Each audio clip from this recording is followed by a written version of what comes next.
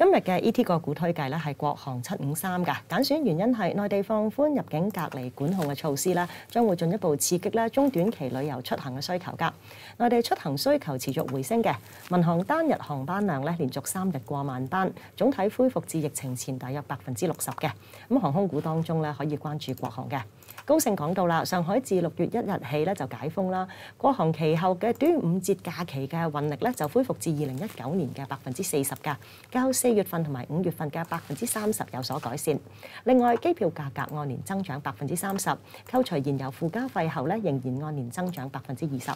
現時內地放寬入境檢控要求啦，被視為疫情嗰個防控拐點，新一輪供需主導嘅航空週期或者開啟。彭博綜合大行嘅預測啦，預料國航今年虧損啦進一步收窄去到一百零五億元人民幣嘅，